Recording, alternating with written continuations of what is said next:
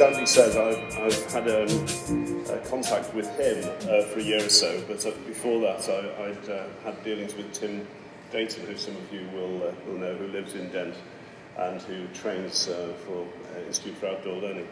And um, we have some land at uh, Dent, um, my wife and I, uh, which um, we uh, uh, let the outdoor learning people use to, um, to do some training on. And we have big family camps there uh, during the music festival period at Dent, so it's, uh, we've got a resource which I'll refer back to later on. So um, I'm fascinated by this whole area. Uh, I, I stumbled on it, uh, the sector, by chance with, because of Tim Dayton. But um, in a sense, my interest in this whole area of outdoor activity is, is in the blood. Um, my mother was a cub mistress and my father was a scoutmaster, and that's how they met. Um, and, uh, you know, in the um, 19, early 1930s. Uh, and uh, for their honeymoon, they cycled on a tandem uh, from Liverpool down to the West Country, staying in youth hostels. So, uh, interesting concept for a, for a honeymoon, um, which, is, which is what they, what they did. Uh, and of course, I, I was in the Scouts myself, as most of the family have been in the Guides and so on. But I, I want to say a bit more about that a, a bit later on. Um, first, a bit about public health. Um, the definition which um, uh, is most commonly quoted uh, about public health these days is, uh, comes from Charles Winslow, who was the founder of Yale School of Public Health in about 1916. And uh, Winslow described public health as the um, science and art of protecting and improving health and treating disease through the organised efforts of society. Not about, not about hospitals and doctors and nurses, but the organised efforts of society to protect and improve health and treat disease. So it's very, a whole system, it's very in inclusive.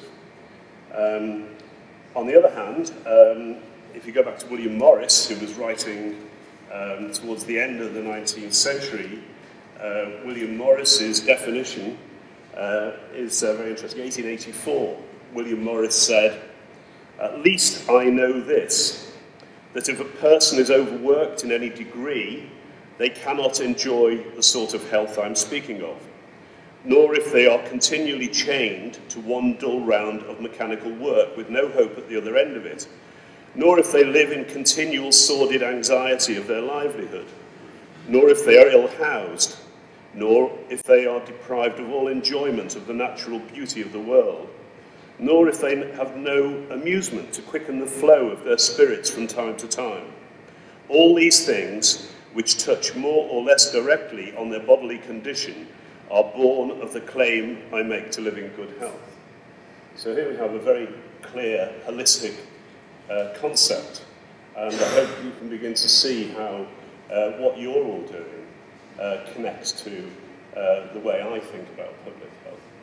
I'm going to use the rest of the time uh, to uh, go on a, a sort of a perambulation, really, but come back to some key, key issues.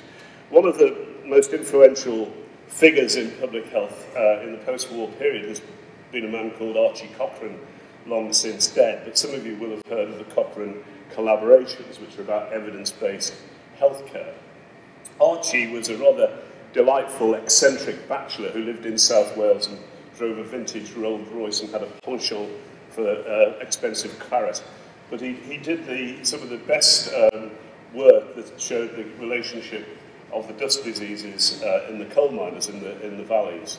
Um, he wrote a little book um, towards the end of his career, uh, which, which led to the uh, evidence-based medicine movement, and it, it was called effectiveness and efficiency, random reflections on the NHS. It's only about 80 pages, but it's a very influential book.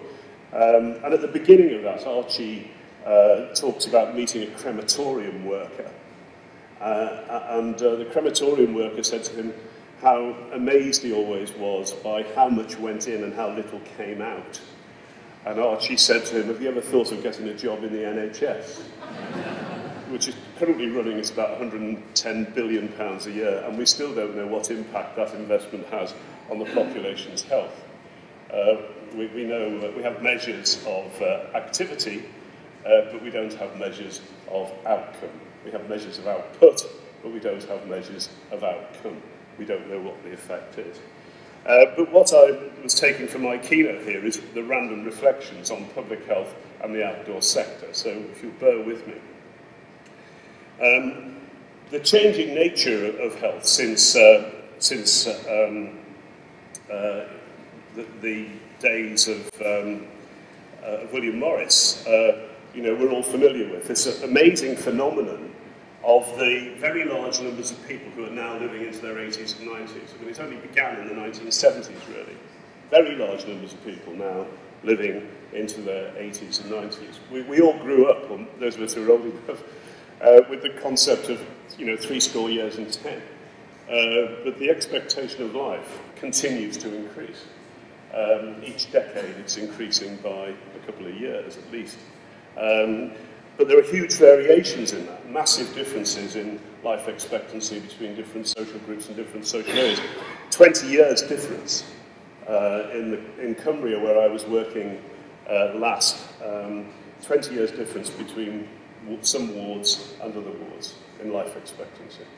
Um, massive difference in people's uh, well-being uh, between areas and in, the, in terms of their long-term conditions.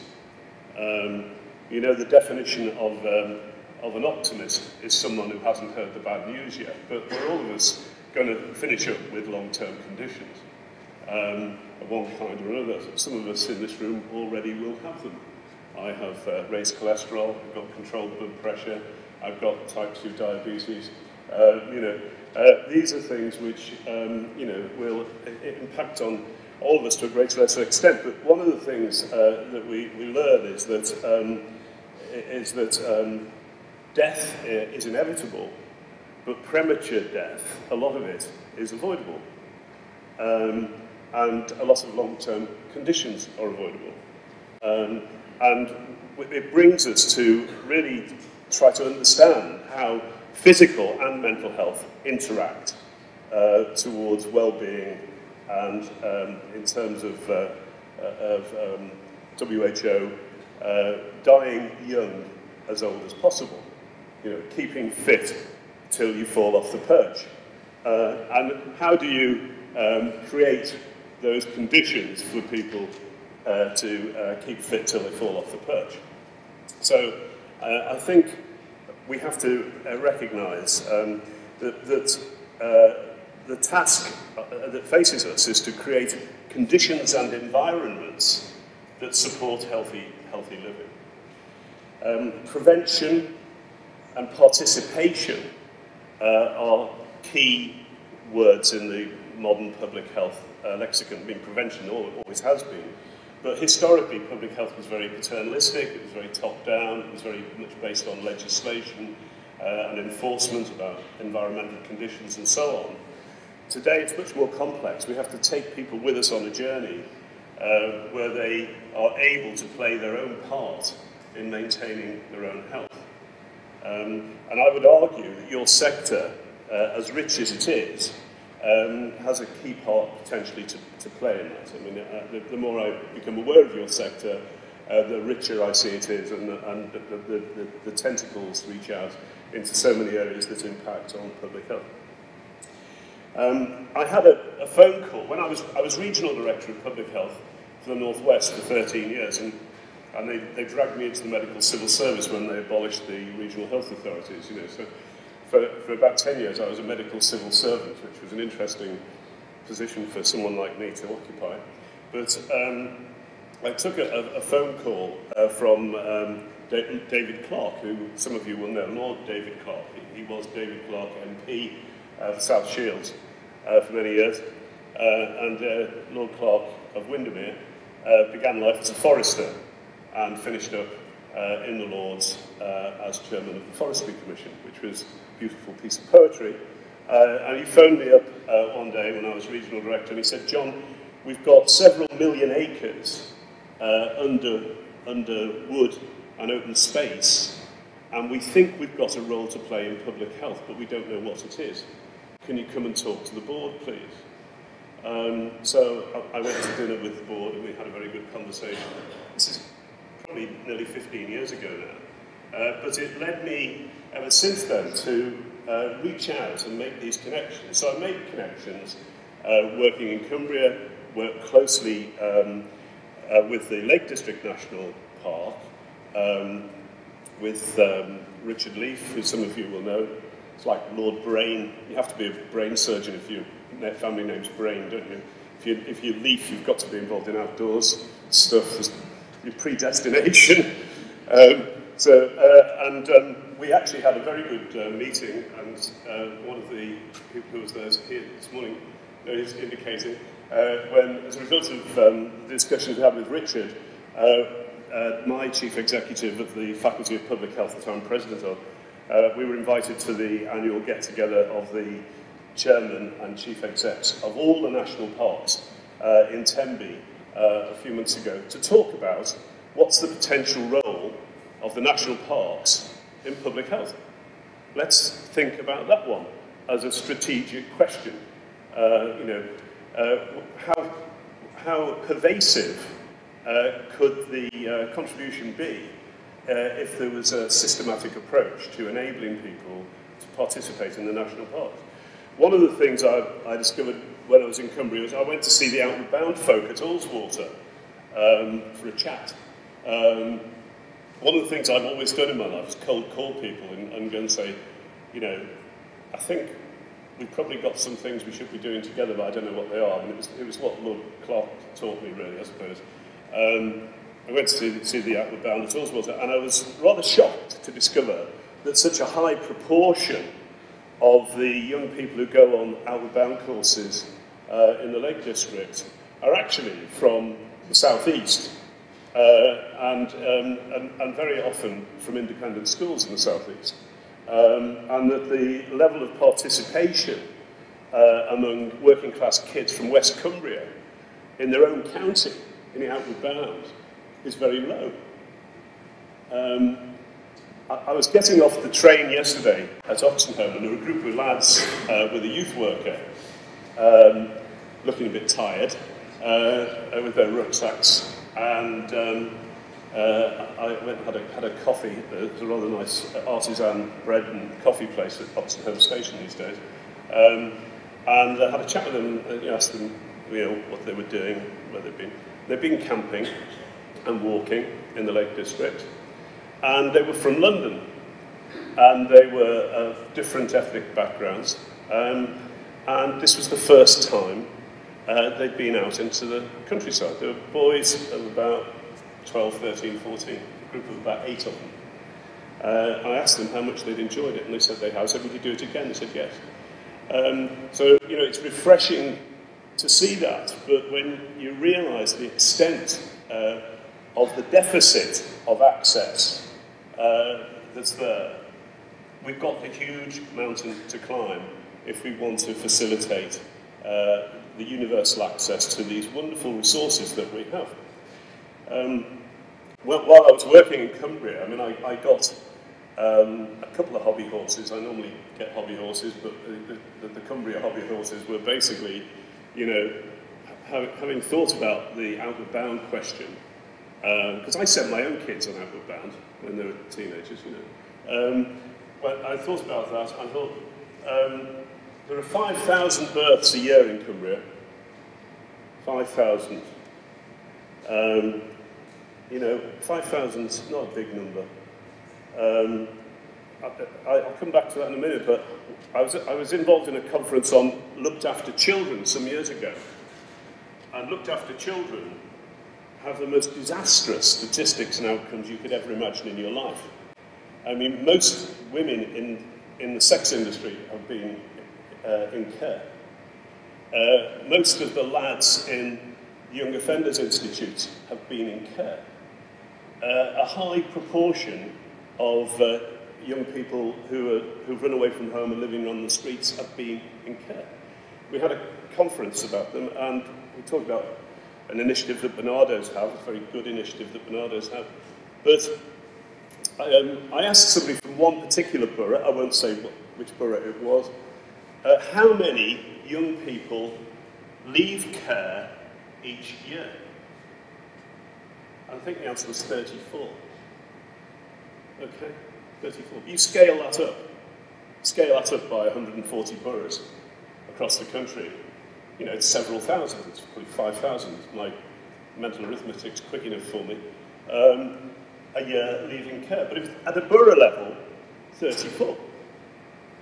If we can't sort that out together, we shouldn't be drawing our salaries. You know, it, it requires a joined up approach to giving those young people who are among the most needy uh, in the country the sort of experience and rites of passage that will enable them to enter adult life with a fair chance of floating. And I would suggest, I know that from the conference I attended in, um, in, in, uh, in the Lakes uh, last, uh, some months ago, that some of you are involved with that kind of work. I mean, that's, that's part, of, uh, part of your story. Um, so uh, I came to the conclusion, to come back to my hobby horse, that all we need in Cumbria is 5,000 passions just one passion each.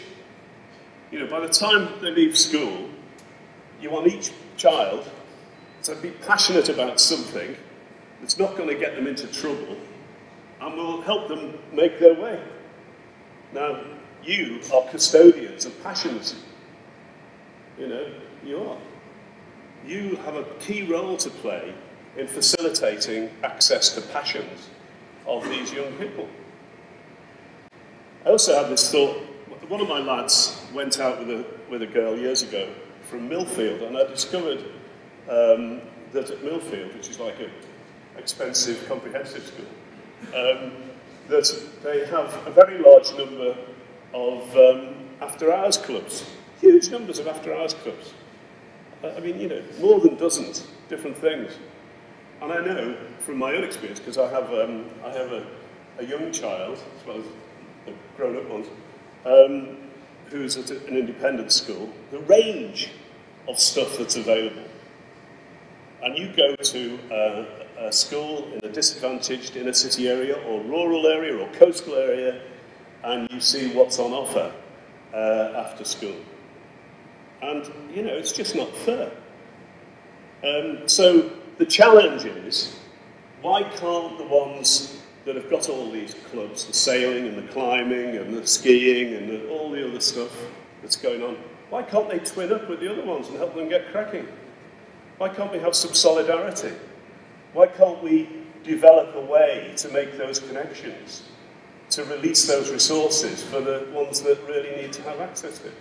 How do we create the pathways from the west coast of Cumbria from your Barrow and your Workington and your Whitehaven and your Maryport and how do we create those pathways for those kids who are stranded on that coastal strip with poor communications and poor aspirations to give them tasters and opportunities and access to the national park which is on their doorstep, the forestry estate which is on their doorstep, and all of the opportunities which are potentially there that will be life-changing. How do we create those opportunities. Now, I said this would be random reflections. And I know um, Andy said to me, he said, you know, these are outdoors types. They, uh, so he said to me when I came, he said, they're outdoors types, you know. He said, you can't expect to sit still for very long. I mean, they want to. Said, you've got to throw some questions at them or get them to do something. I've been spending the last few weeks with some very different kind of outdoors types, actually. Um, I've been involved uh, with selecting the NHS volunteers to go to Sierra Leone. Um, that's what I've been doing for a lot of the time for the last three weeks. I've been sat in Manchester or in London doing long telephone interviews with volunteers. We've had 700 people so far volunteer to go to Sierra Leone, doctors and nurses. Um, and they're remarkable people. You know,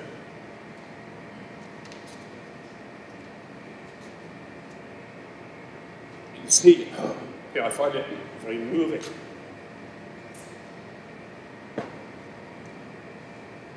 These people are prepared to put themselves at risk for other people.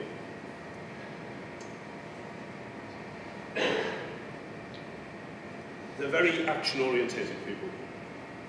Doctors and nurses who like to get their hands dirty but keep them clean in that environment that they're going to. You know what I mean? Um, their CVs are, amazing, these people. They've, they've, done all kinds of really interesting things. They've not followed a, a linear career path at all, most of them. Uh, you know, they've not stayed close to the desk and never gone to sea in the hope of being ruler of the Queen's Navy. But they've actually uh, gone off, they've done VSO, they've gone and worked in development, they've worked in villages in India, they've done stuff, they haven't followed a, a straight career path, got all their badges, got all their certificates, got their special, they've got eclectic mixes of experience. But, and, um, and, they, and they put themselves forward. And they, you know, they would re really are impatient to get out there and get stuck in. Incredible. But at the same time, to deal with the challenge um, of what's facing us in West Africa, we've got to have people who are sitting behind desks, thinking, planning, plotting, sorting out logistics. You know, the army are out there at the moment um, building field hospitals, uh, isolation units, and so on. But to get the laboratory capacity up to, up to scratch requires a lot of logistic thinking and planning. You know, you can't just send people off to be a risk uh, without doing all that stuff behind the scenes. At my age, um, and with my uh, atrophied clinical skills, uh, but with a lot of experience of dealing with people, um, the contribution I can make is to help to select the ones who, can, who who, who are going to go. So I want to make an analogy here um, with, a, you know, a disaster response. Um, a long time ago, when the, when the situation blew up in, um, in, in the Horn of Africa, in Ethiopia, I went on a, a, a training course um, to, to be deployed. Um, but uh, I, I, didn't go in the end because I had three children under five and it wasn't a popular idea domestically. But I, I did um, a week's course in, in deployment for, for the camps there. And um, what I learned about that was that if you've got 12,000 women and children in a ref refugee camp in the Horn of Africa, uh, there are no men because men will be off fighting somewhere. Um, and you drop in a, a, a, humanitarian team, you don't immediately set up a, a field clinic and start treating sick babies. The first thing you do is a census of the people in the camp and, and, a, and a, an assessment of what skills they've got. You find out what resources you've got so that you can mobilize them because you'll have people who've got nursing skills, you'll have people who've got teaching skills, you'll have people who are good at organising the kids to play football or whatever. You'll have people who can, can do the, um, the, the mechanical work and the navying and doing the sanitation and all the rest of it. So the first thing you do is you have to do, you have to do a census. Um, now, John McKnight, who I'm going to see next week actually, we're going to America early tomorrow morning, uh, it's half term, and uh, going to go and see John. He's um, a guru, uh, a mentor of mine. Um, he worked for 40 years uh, in Chicago, um, developing asset-based community development, known as ABCD capitals. If you Google abcdinstitute.org, you'll find all this stuff. Um, abcinstitute.org. And John is, uh, he looks like an, uh, an Old Testament prophet. Uh, he came from a family that were covenanters on the west coast of Scotland generations ago and turned up in the States. And they trained community organisers, and, um, and he trained Obama as a community organiser uh, for three years. Um, after, after he'd done his first degree, he trained as a community organiser. And one of the things John McKnight says is you don't go to the shop till you've seen what you've got in your own backyard. You know? Asset-based community development. Map the assets. Now, we, we are asset rich. Even in the most disadvantaged community, there are assets. Part of the problem, though, is that we have professionals who go in and don't build the capacity or build on the capacity that's already there. We, we uh, emasculate communities the way we work. We don't build on their strengths by mapping the assets in the first place and seeing how to get alongside them. And that's the philosophy behind asset-based community development. And so, if the challenge is for all our young people, and not just all our young people, because I haven't started to scratch the surface of the aging story, you know, 40% of widows depressed, 40% of widows depressed, at home, lonely, isolated. Um, how do we make it possible for people to have a quality of life and a participating life, even when they're beginning to get those multiple things that go wrong with you as you get older. Uh, and I would suggest that your sector has a lot to say and to offer about that agenda as well. So, we have to, how am I doing? Come? No, how, many, how much longer have we got? Ten, that's fine. Just need to try, try and calibrate. Um, so, um, so we need to, um, to map the assets, okay? We need to map the assets. We also need to go strategic, you see. Um, and this is where Andy says, you know, people get talks, you know, up in the air strategy. These are, these, these are hands-on folk, you know. Um, and, but somehow, if, we, if we're talking about how your sector evolves and matures and delivers to its, its um, potential, then you need some strategic thinking in here as well. Um, and I don't know whether you want to interrupt it. Andy said to me, give them some questions and have a break, you see, but I don't know. I'll, I think I'll carry on talking. Do you want me to give you some questions, have a break, or should I talk for 10 minutes and leave you with some questions to think about? Should I carry on talking? Yeah, okay. Um, but I, what I want you to start thinking about, though, what I want you to start thinking about is what will this sector look like in 10 years' time?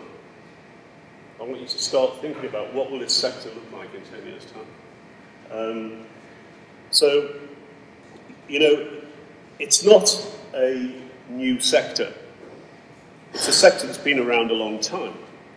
Um, and um, I, I, floated the concept uh, up in the Northwest when we were talking there, which I stole, you know, you shouldn't be in public health if you can't plagiarize, you know, it's very important to plagiarize. Part of the big problem in the world today is people don't do things if somebody else thought of it first, you know. Not invented here, I'm not doing it, you know.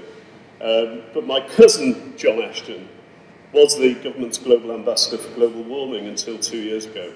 And uh, John's got a much bigger brain on him than I have. I've just, you know, tried to make the most use of what I've got. He's got a big brain on him. But he, um, he came up with this thing which he formed with other ex-diplomats from around the world. He was in the Foreign and Commonwealth Office. He's a scientist. Um, called E3G. You Google that, E3G. Environment of the Third Generation, E3G. And so he talks about the first generation of environmentalism, second generation of environmentalism, and the third generation of environmentalism. And the third generation of environmentalism is about getting those things, the sustainability and all of that stuff, onto everybody's agenda. It's really permeating everybody else. So there's a real parallel. That's what we need to do in public health. But I think um, that's where I think we need to start thinking about uh, outdoors sector, outdoors sector, third generation outdoors, third generation outdoors. What was first generation outdoors? First generation outdoors was Baden Powell. You know, it was my mother and father. growing up in the, in the 1910s and 1920s, becoming cubmaster, cubmistress and scoutmaster, and doing all that stuff. That, that was first generation kind of stuff uh, outdoors. And the, and the Ramblers, and the Youth Hostel Association, and all those things. That was the first generation of outdoor stuff. The second generation was the national parks, uh, the post-war settlement of uh, you know, building, building the structures and so on. And the twin objectives of the national parks and um, the uh, uh, Forestry Commission, uh, I think we had that conversation, uh, you know, twin objectives. There's the heritage stuff, looking after it, keeping it nice, not letting people mess it up. Uh, but then there's the social uh, objective. Uh, the social value, the participation, the enrichment of life. That's the health and well-being objective. Um, but I think we now need to be in this third generation of outdoors, which is what you are. You are it. You are the cohort that can really move this on uh, and make it meaningful um, to the whole population at whatever stage they are in the life cycle and help to make that integration which we so desperately need between mental health and physical health. Um, I went, I mean, who knows Winder? Winder. You don't know Winder. Winder is a, a hill. It's quite a, a serious hill. You know Winder? Yeah. You've run up it. Did you go to Sedbergh School? No. Winder is a serious hill next to Sedbergh School, which they get to run up quite a lot. Um, and it's part of the Wilson Run, which has been going on at Sedbergh School for over 100 years, which is a fell run uh, that's about 12 miles long, very, very severe run which all the kids are expected to do at least once before they finish school uh, at the age of 18. Um, but Winder is, um, I, I, went up Winder on, uh, on uh, Saturday uh, with um, a friend and colleague of mine, Phil Batty, uh, who, who lives at the bottom of Winder. Um, it took about an hour or so to get up and about 10 minutes to get down. Um, and when you get to the top of Winder, you go because you can see right the way down, uh, past Blackpool, down to Merseyside. You can see all the way across the Lake District. It's one of the most fantastic views, um, you know, that there is really in, in that sense.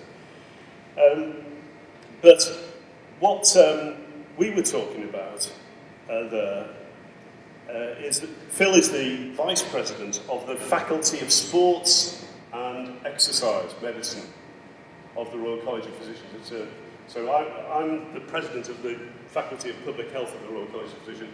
Phil's vice president of the Faculty of Sports and Exercise Medicine. But what we are talking about was he would really like them, and he seems to have quite a, a, a body of support behind the, the, the idea, to broaden their scope from being about sporting excellence and sporting injury uh, to mass participation. And there's always this tension, you know. Um, and, and I remember years ago, my three that are now long, long since grown up, going, if you, do you remember Sport for All? Sport for All, the 1970s or 80s, whatever. Anyway, it's quite a while ago. And um, we used to, I lived in Southampton at the time, we always used to go uh, to the baths up by, um, by Winchester on a Sunday morning with the kids. And we arrived one Sunday morning with the kids to go swimming, to find that we weren't allowed in that day because they were having a Sport for All demonstration.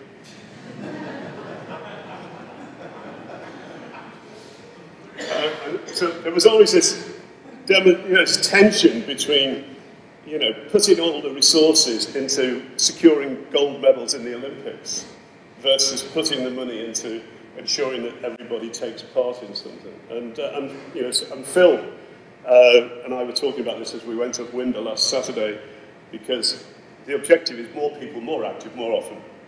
You know, that's a public health objective. More people, more active, more often. It's simple, really. That's what we need to be. So, um, I, I said I, am going to draw to a close in a moment. Um, so the challenge is, um, how do you do the strategic thinking? How do you connect to where you can scale up all of this stuff that you're doing? Um, and so many of you just want to get on and do the thing you do and so on. But somebody needs to do the strategic thinking. So you've got to connect at the top level, at the policy level, across government. Got to connect at the, um, at the local administrative level, whether it's the county or the district or the city or whatever, or the borough or the parish or whatever, uh, as well as getting on and doing you know, the day job. So I recognise, you know, as I said, um, speaking with all these volunteers wanting to go to Sierra Leone, and you've got this tension between getting on doing and standing back and making sure the logistics are in place. You've got to do both. Um, we have, um, if you have um, an emergency, if you have a disaster or an emergency, and you convene, if the chief constable convenes a gold command, which is the way, the, the words we use, the terminology some of you will be familiar with that. I suspect some of you are involved in mountain rescue. So. Um, but, uh, you know, the gold command, they sit in a fancy room somewhere and just receive all the intelligence coming in and make high-level decisions uh, about what's going to happen and try to anticipate what's going to happen next. Uh, they've got to do the thinking. Uh, they've got to be in a position to really assess it. And that's, that's chaired by the Chief Constable, usually, with the heads of service, and, you know, from health and fire and rescue, you know, the other agencies. The silver guys, the silver level, are the ones who have to take away the instructions from that level to go and uh, make it happen. And the bronze are the frontline Joes and Josephines who are doing the stuff on the ground, you know, the ambulance men and women and so on, and the constables and so on and so on. And so I think that's a command and control structure in an emergency. But you could argue that the public health crisis that we face, uh, you know, of over 30% obesity, large uh, proportion of unfit population, costing a, a large proportion of the NHS budget for avoidable things, requires a command and control solution. It's not fashionable, command and control, but I think you need to um, be thinking strategically and silver and bronze as you go forward. Finally, um, if you look at the natural history of businesses and enterprises, then um, they typically have, um, have a, a, shape like, like a, an S the wrong way around, you know? Uh, like that, see? And at the bottom, what you've got here is you've got a new business, and um, people can't uh, get enough of it, whatever it is, product. Uh, and um, you've got lots of smaller outfits, and everybody's happy to help each other out. Um, I'm just trying to think of, a, of an example. Um, it could be uh, it could be people beginning to set up coffee bars or something like that. You know, that might be a good example. Um, and there might be a you know, lend guy in the next village some coffee beans when they'd run out, you know, where we help each other out. So as it matures and you begin to get monopolisation and maturity of the market, people become less um, willing to help each other and it, and it tends to get um, you know, monopolised and shrunk and all of that. Now, I recognise in your sector you've probably got bits of different points on that, that you've probably already got some professionalisation and consolidation and so on in the sector. Um, but if, if, you're going to grow uh, this sector, I'm always reluctant to use market words for social enterprises. But if you're going to grow the sector, then the collaboration uh, that you develop um, over the next three, five, ten years will make a huge difference uh, to your reach and your ability to impact on the nation's health and well-being.